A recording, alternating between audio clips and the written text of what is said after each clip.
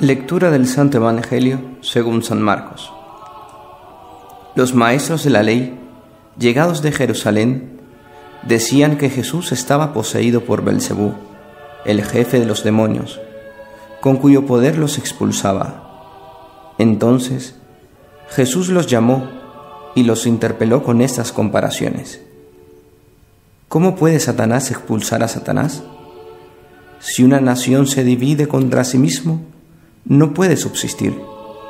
Tampoco una familia que se divida contra sí misma puede subsistir. Y si Satanás se hace la guerra y actúa contra sí mismo, tampoco podrá subsistir. Habrá llegado a su fin.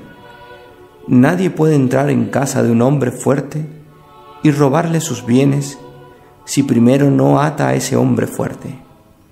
Solamente entonces podrá saquear su casa. Les aseguro que todos les será perdonado a los seres humanos, tanto los pecados como las blasfemias en que incurran.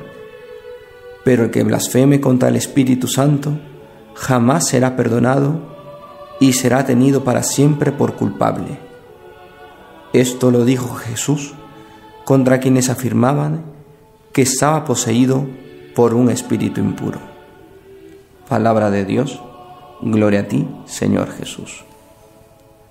Los maestros de la ley piensan que nuestro Señor está poseído por el demonio. Sin embargo, Él les revela que sus gestos y obras son manifestaciones de la misericordia de Dios para los hombres.